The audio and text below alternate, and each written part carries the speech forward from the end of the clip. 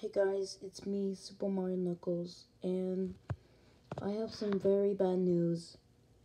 I won't be making any videos for, for, for, for, for, I won't be making videos until, until next, until next week.